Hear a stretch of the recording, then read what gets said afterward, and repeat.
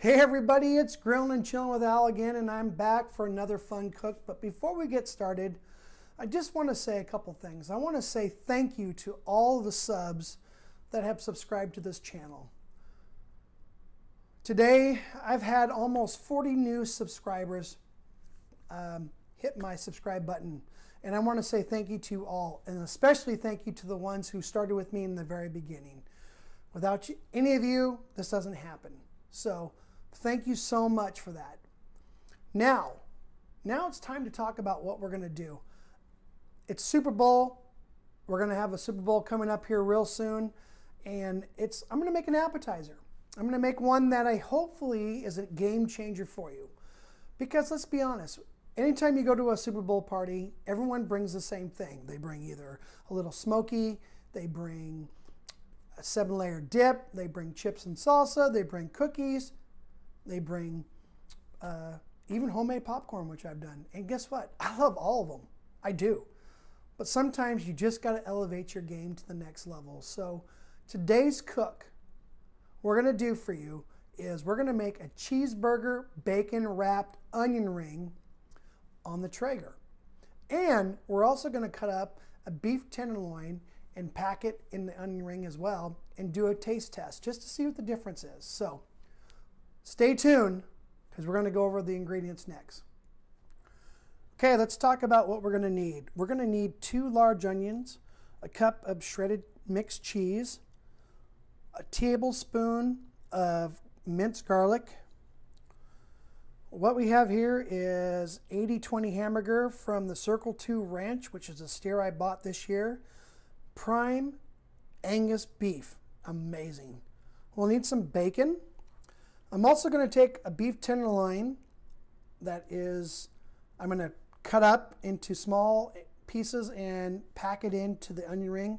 And then, of course, we're going to try today some Kitchen Bitchin seasoning. And I got this from a family friend whose mom and some of her partners started it over in Seattle.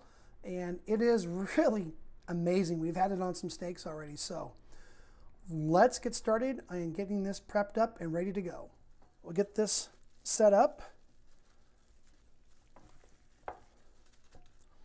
We're going to take the one tablespoon of minced garlic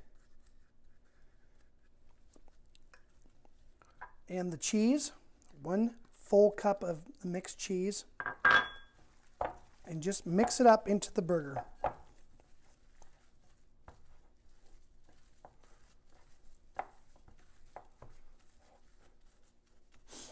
We'll take some of the Kitchen Bitchin seasoning probably about a tablespoon, and just mix it. And then we'll make another bowl with the steak and do the same thing.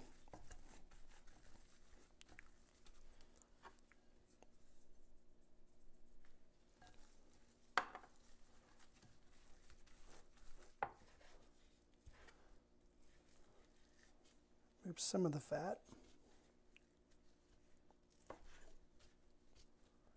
And then we'll just keep slicing it up until it's in ground chuck style beef.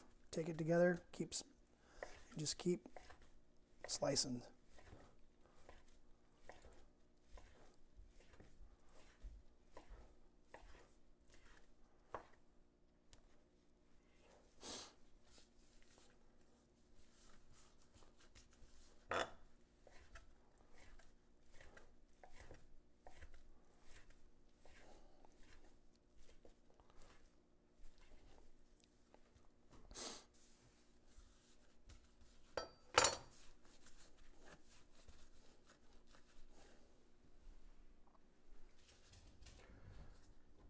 Okay, we've cubed up the steaks.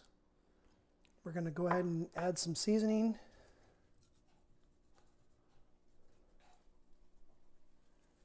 We're going to add some cheese.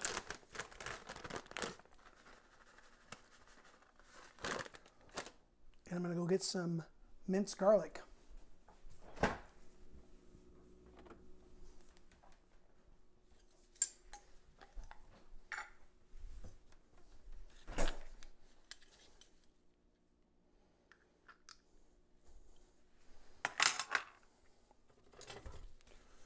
Let's just mix it up and then we'll get ready to slice in our onions.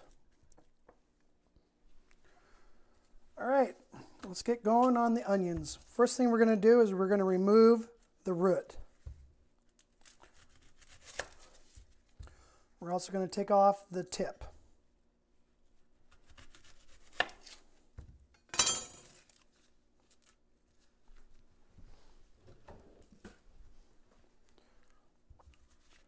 And what we're going to want to do is we're going to want to take slices and make them about three quarters of an inch thick.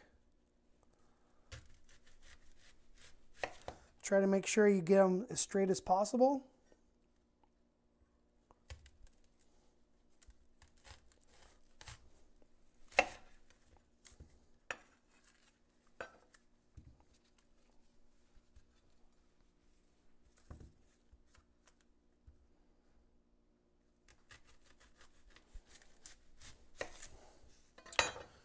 And then let's just clean them up.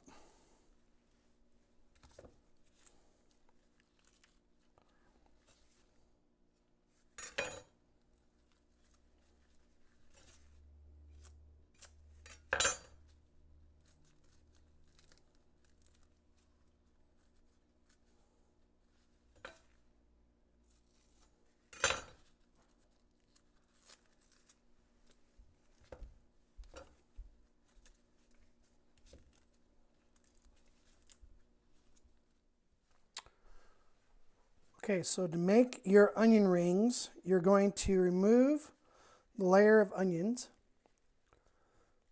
starting with the top one, if you can get it out.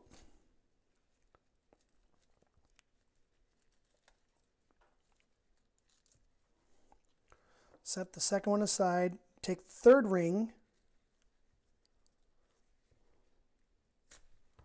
and you're going to use that place in the first ring.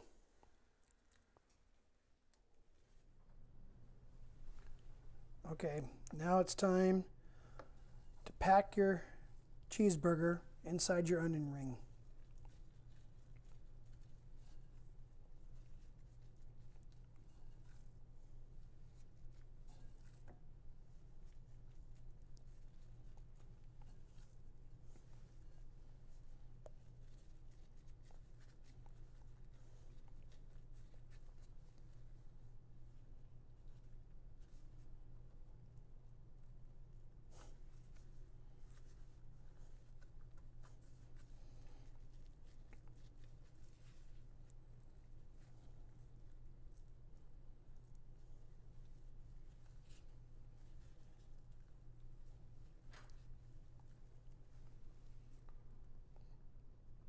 So we'll get the rest of these done and then we'll get them on the Traeger.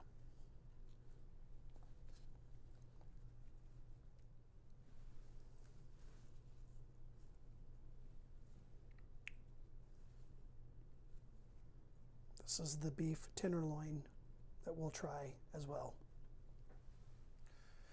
Okay, so we had to switch gears a little bit. Um, I bought a lower cut of bacon and it just became too difficult to try to wrap the onion rings. So I switched to the Kirkland brand, which is definitely better. It's a lot thicker. So basically, you're just going to slide the bacon through the onion ring, loop it up, push it down, tighten it, and try to get a consistent um, rolling of each of the bacon on the onion rings. Onion rings, excuse me. Again, just slide it through. Start at the top. Give it a little tug so our pattern is consistent.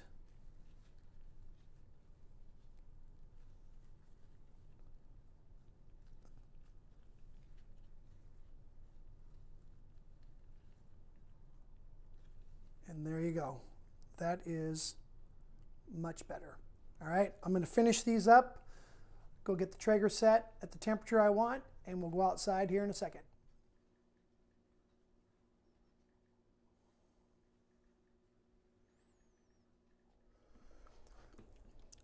These have been sitting in the fridge since last night, and we're going to get them on. Now, you see what good bacon looks like versus bad bacon. So make sure you get good quality cut bacon when you do this. Now we're going to come back in one hour and see how these turn out, even that ugly one. So yesterday when I was shooting the video, I actually misspoke on the name of the seasoning. Uh, the name of the season is actually called Kitchen Bitches. All right? And if you want to check them out, go to bitches at kitchenbitchesspice.com. And they're a local local company out of the Seattle area, and they do an amazing job. So I just wanted to make sure you all knew that I was calling it the wrong name. So I've got an hour just to kind of wait for this to cook. So I guess I'll pour myself a nice little whiskey seven.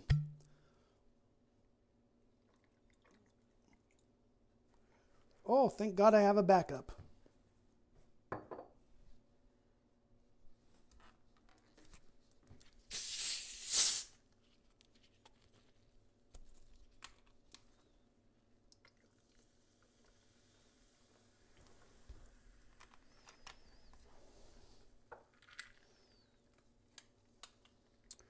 Cheers. See you in an hour. It's been an hour. These need to go a little bit more, about another 15 minutes. But they are looking good. So we'll check back in 15 more minutes. We're going to taste test these. I did half with the glaze, the pineapple habanero glaze, and the other half just left them alone. And we're going to dip them in the fry sauce. So I got the hamburger with the pineapple habanero glaze. I'm just going to try it like this first.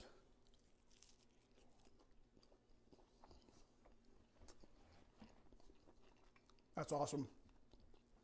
You don't even need to dip it in the fry sauce. Let's uh let's just try one without the glaze.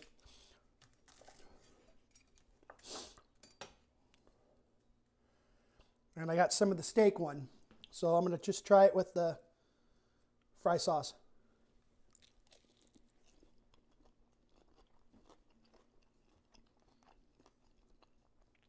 Oh, both are good. Hey, thank you for watching this today. Thank you for all that have subscribed. And if this is your first time watching Grilling and Chilling with Al and you like what you're seeing, please hit that subscribe button. Give me a thumbs up and drop a comment down below. And don't forget to hit that notification bell as well. Be safe at the Super Bowl this year. If you want to bring an A game appetizer, uh, this is the one you want to do. All right? Until next time, thanks for watching Grilling and Chilling with Al, and we'll see you again.